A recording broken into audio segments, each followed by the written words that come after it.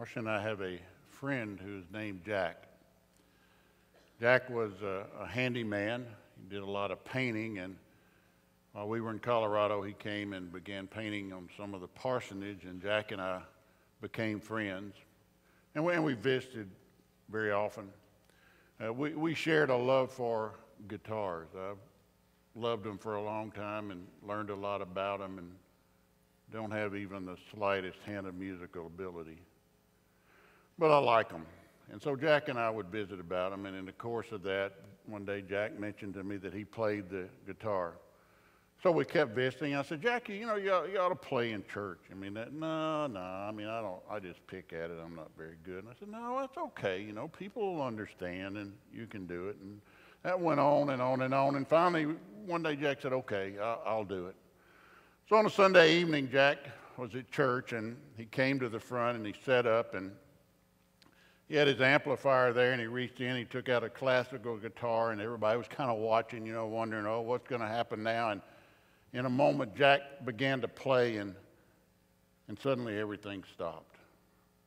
Jack began to play the most beautiful hymns you've ever heard in your life, just one after another.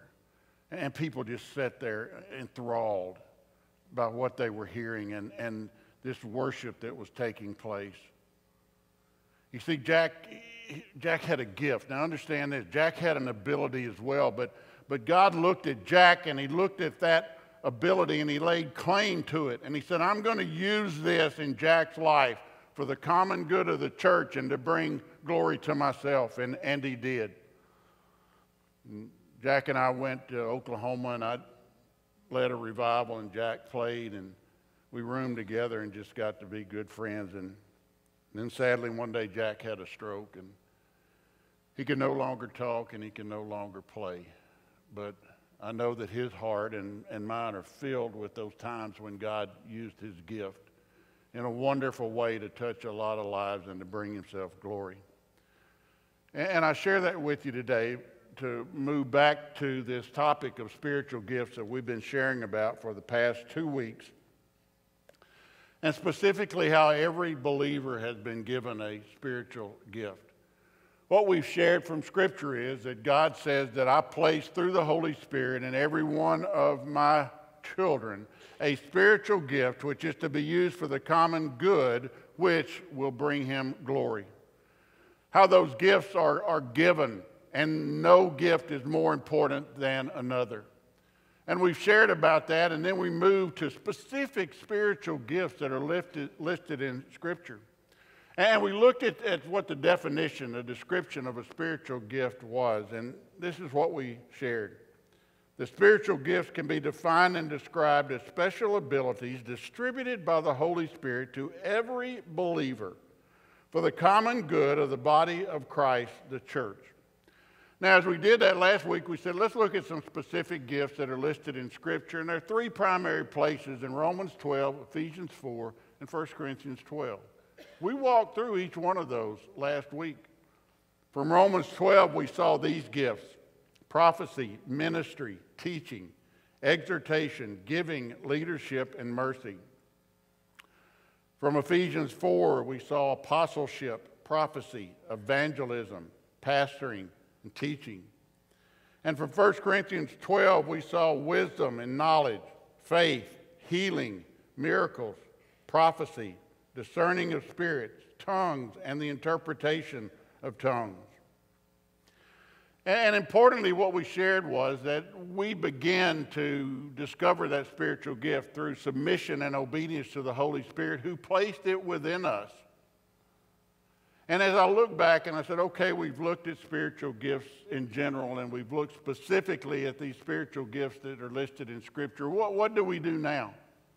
I mean, do we stop at two and everybody leave and we say, well, I know what this one is, I know what that one is, I know in the Bible even where it talks about them?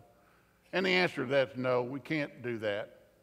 Because you see, a spiritual gift is of no worth if we don't use it.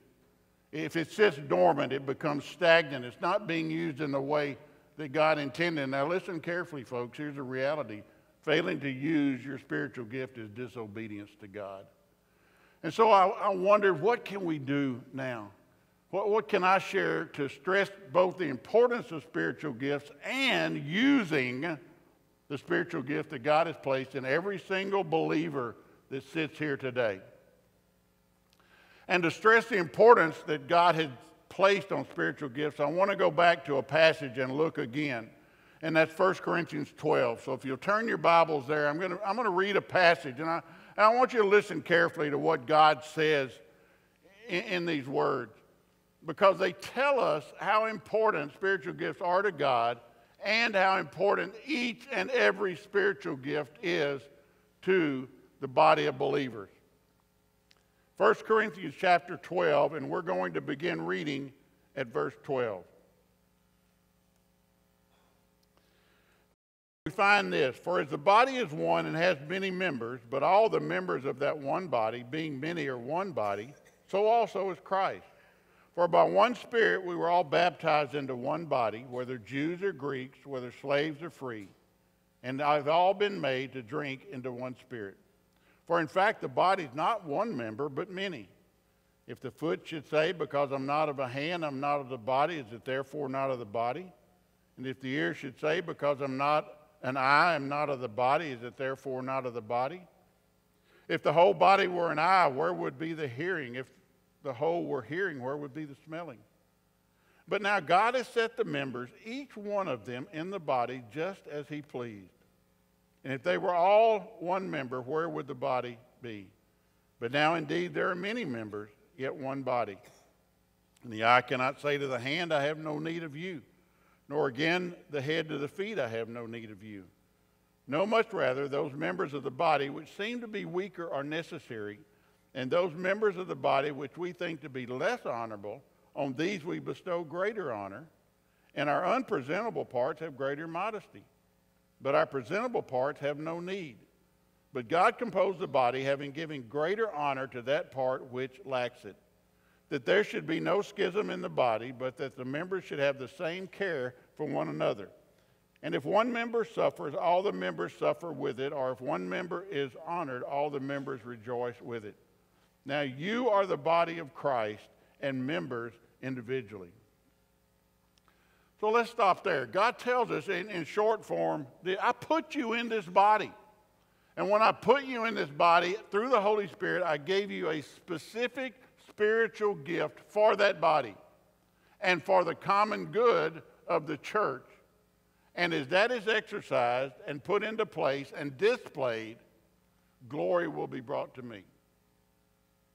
So, having shared about spiritual gifts and noting the importance of spiritual gifts, my question became, became how can the existence of spiritual gifts within this body best be illustrated so that we come to understand that everything that God has said here that we've been sharing is taking place right here? And I said, Well, I'll tell you what, I'll show you. Take, for example, the, the gift of exhortation. We know it also as encouragement. And it's the divine enablement of present truth so as to strengthen, comfort, or urge to action those who are discouraged or wavering in their faith or generally need encouragement. So we say, do we have any of those in this body? Hi, my name is Steve Tompkins. My spiritual gift is encouragement. And the way I use that gift in the church is by helping people along with their walk with Christ. On Thursday mornings, there's a men's prayer group that I'm a part of, and we get together and we talk about the issues of life. We talk about uh, the struggles that we're facing with sin, uh, adversity that we're facing, or, or we might just need direction or, or uh, guidance in a situation. I, I, go to the Bible, and uh, as, uh, as we talk about these issues, I go to the Word of God and God just lays these scriptures on my heart sometimes, and I'll share them with the group. And uh, uh, it's it's been told to me several times how encouraging that is, how much uh, hope and and uh, courage that it gave that person to continue on uh, with the struggle that, that they're having. So everyone needs an encourager in their lives, uh, and I've been blessed to have been able to encourage everyone from pastors to, to people who don't go to church So that's the gift that God has graced me with, and uh, I'm glad to share it with others. Now, what about administration? That's another spiritual gift, and it's the divine enablement to understand what makes an organization function and the special ability to plan and execute procedures that accomplish the goals of the ministry. It's a necessary gift that benefits the whole body. I'm Tyler Smith, and I have the spiritual gift of administration. Uh, I'm the chairman of the stewardship committee. I help use uh, my gift to uh, set the budget for the upcoming church year. Uh, and also, I guess with that, um, one of the biggest lessons I've learned uh, with having that position is to uh, let others kind of have the, the forefront in, in certain situations. Uh, a lot of times we'll have uh, during our committee meetings, we'll have you know things where you know maybe somebody with more experience in law uh, would be better suited to answer a specific question. Uh, somebody with computers would be better suited to answer a spe- specific question. Um, and I guess also uh, I use it in work. Uh, what I do with work, I'm a contract coordinator, and uh, I'm basically the uh, kind of the, the go-between between uh, our spray crews, uh, my boss, and our customers. I have to have a lot of attention to detail, um, and I also have to have you know good people skills to make sure that you know, we have the job done efficiently and and as effectively as we can. Now, all believers are called to intercessory prayer, but there's a spiritual gift that is called intercession.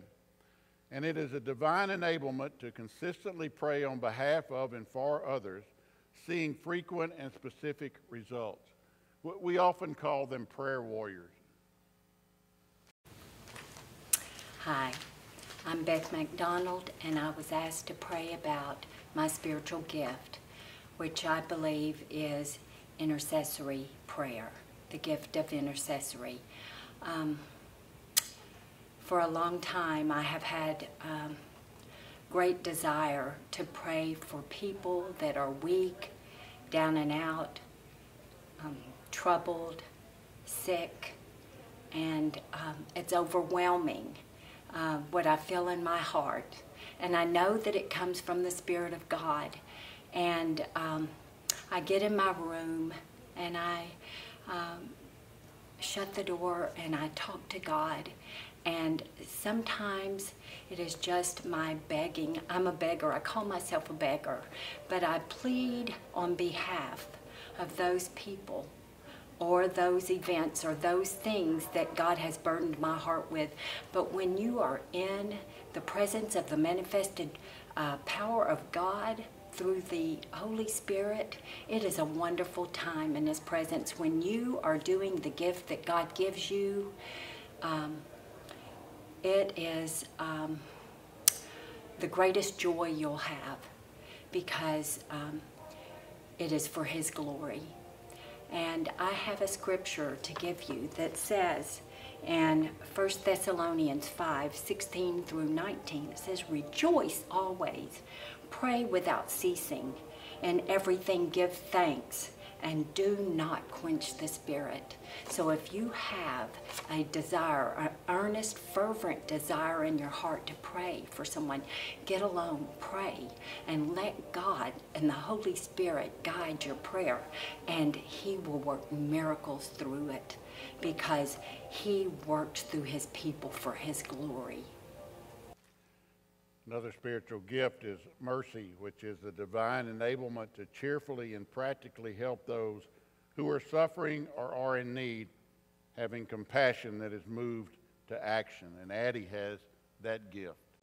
My name is Addie Welch, and my gift is a gift of mercy. That gift has been given to me through a series of events in my life. Um, God has taken and turned all these around, and He's used them for my good um, things that have prepared me to feel, really feel the true, honest, and heartfelt um, mercy and compassion for others. Because of God's allowing things to happen to me, Scripture has stayed with me um, in Psalms 30, verses 11 and 12.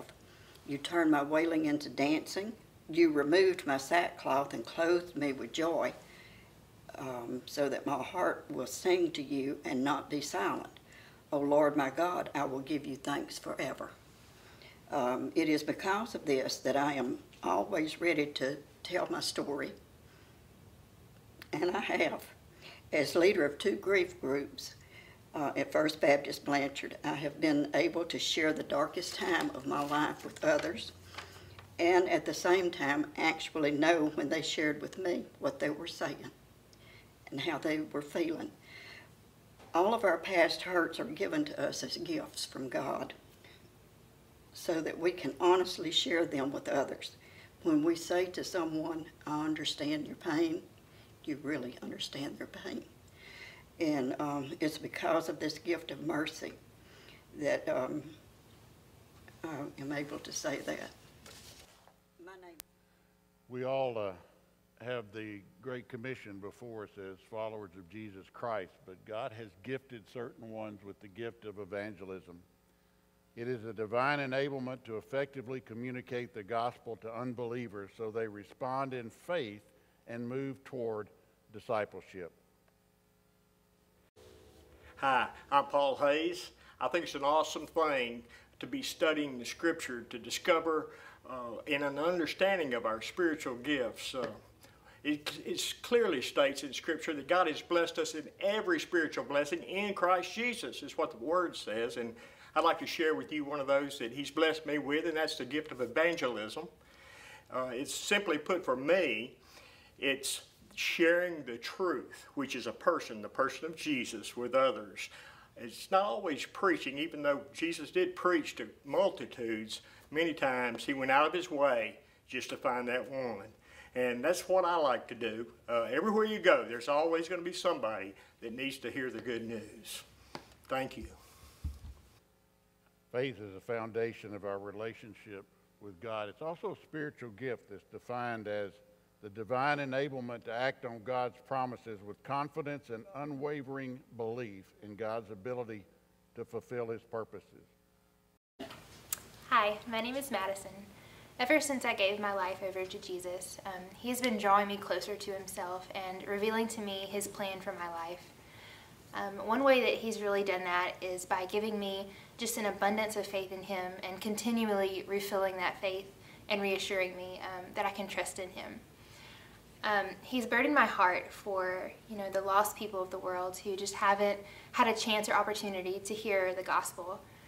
And in going to some of the most dark places around the world, I just um, I've learned how important it is to realize that God is powerful and he is the only one who can who can do these things and change hearts and bring light to the dark places. And above all else, we, we can't forget who we're placing our faith in. And when our faith falters or we feel like we can't trust um, in the Lord, just remember He has fulfilled every promise that He has made to us. And we have a book full of these promises to rely on and to go back and to, to look through. Um, I want to challenge you as, you know, I've prayed and I've asked God to um, strengthen my faith. Um, I want to challenge you as you do that in your own life that you have to be prepared that when He does strengthen your faith, you have to step out onto those waves and into that storm that it's so hard to step out into sometimes. Around us is a spiritual gift of helps, which is the divine enablement to attach spiritual value to the accomplishment of practical and necessary tasks that free up, support, and meet the needs of others. Hi, I'm Jason. Uh, one of my spiritual gifts is helps. Um, use that gift usually as a behind the scenes type of person to, to help ministers uh, uh, perform certain tasks that frees them up so that they can concentrate on uh, more serious tasks. Uh, I think it entails a lot of helping other folks uh, during uh, difficult times in their lives where we may see that their yard needs to be mowed while they're sick or going out and, and working in different ministries such as the chain, chainsaw ministry, um, just helping in, in, in just various ways uh, up here, upkeeping the property, working on different things here at the church itself. Um, you know, God has gifted us with uh, uh, a lot of different spiritual gifts, and we're to use those to build the body up. And uh, uh, I encourage you that if you haven't figured out what that is, that you would pray and ask the Lord's guidance uh, and direction, uh, that He would reveal that to you, so that you can also use that gift to uh, uh, use here. Ministry is a spiritual gift. We sometimes refer to it as service as well, and it's the divine enablement to see and meet needs of people and the church as it fulfills the Great Commission. Good morning, church family. My name is Sissy Merriman, and today I'm asked to tell you how the Holy Spirit has led me to use my spiritual gift. In Galatians 5:13 it says, "For you brethren have been called to liberty. Only do not use liberty as an opportunity for the flesh, but through love serve one another." And my spiritual gift is service. Uh, for five years, I've worked with Project Linus. We make handmade baby blankets for children from preemies to 18 years old. And in five years, we have sent out almost 5,000 blankets. We send them to hospitals, to homeless shelters, to uh, we've sent blankets to children where there were shootings in their high schools to hopefully bring them some comfort. And on each blanket, we use put a card that has the plan of salvation on it and a phone number in case someone needs prayer. I also get the honor every year of working with Melvin Moses on the church auction to earn money for missions. And at Christmas, I help organize and help decorate the church for the holidays. Um, our body is not complete without each one of you using the gift that God has given you.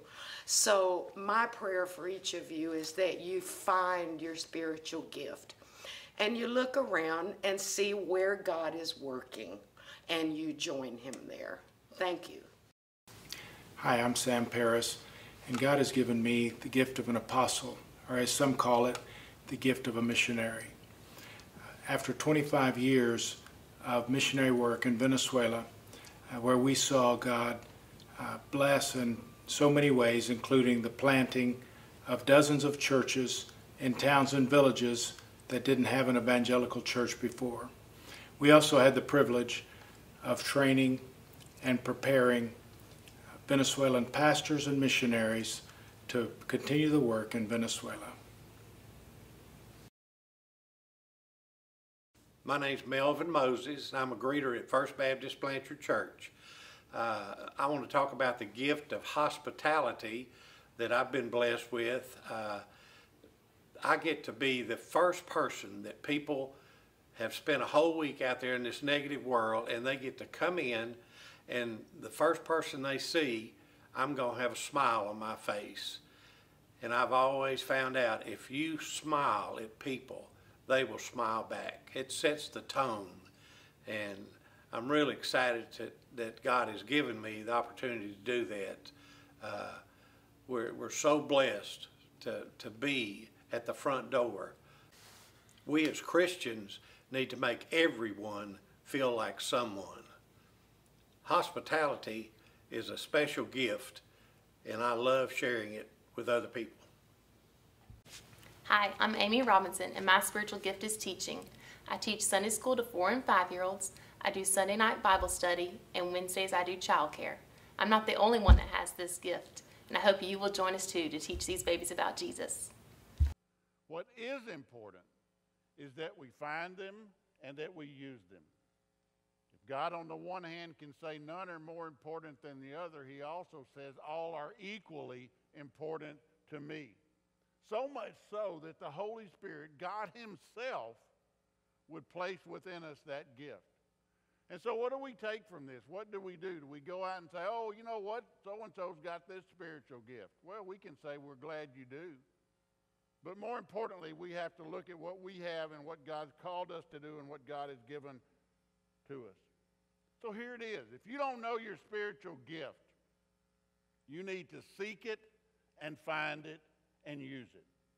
If you know your spiritual gift and it's not in use, you need to use it.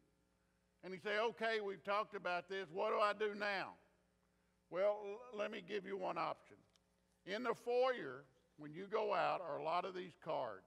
And it simply has a place for your name and your phone number. And on it, it says, I want to discover my spiritual gift. I want to use my spiritual gift.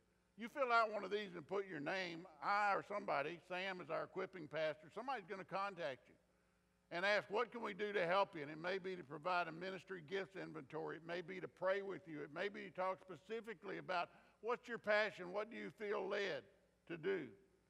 And in turn, as you discover that, to plug you into a place of service in this church so that God will be glorified. And understand this as we do that, whether it's this piece of paper or whether it's this minister gifts inventory, whatever it is, it is the Holy Spirit that originates that and guides that and not any of us. Now, at the end of three sermons about spiritual gifts, I want to leave with you two verses. And what I want you to take from this today, more important than anything else, is what we read in these two verses. Get your Bible, turn to the book of 1 Peter.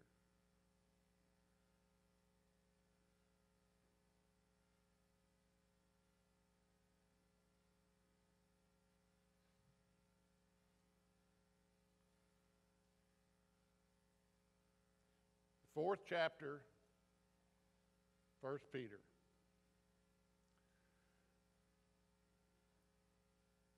Listen carefully to what God says. Verses 10 and 11. As each one has received a gift, minister it to one another as good stewards of the manifold grace of God. If anyone speaks, let him speak as the oracles of God. If anyone ministers, let him do it as with the ability which God supplies that in all things God may be glorified through Jesus Christ, to whom belong the glory and the dominion forever and ever. Understand this. God says, I have placed a gift in you as a steward. That means you are holding it in care for God, which means we are accountable to God for what we do with that which He has placed within us. Now, I want one other thing. The last word of verse 11. Amen. It's not there to end a prayer. It is there because here's what amen means. So be it. Understand? When we read this, God says, I placed a gift in you. Use it to bring glory to me. So be it. Let's pray for our invitation.